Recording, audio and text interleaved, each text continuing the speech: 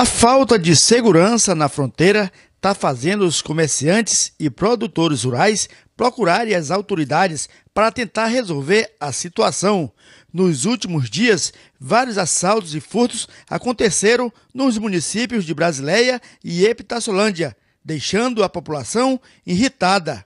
A reunião com as autoridades e os produtores rurais e comerciantes dos municípios de Brasileia e Epitaçolândia aconteceu na Câmara Municipal de Brasileia, com a presença da comandante do 10 Batalhão, Ana Cássia, dos vereadores e os comerciantes e produtores rurais. De acordo com as vítimas de assalto, enquanto as passagens para a Bolívia não tiverem fiscalização 24 horas, esse problema de assaltos e furtos de veículo vai continuar.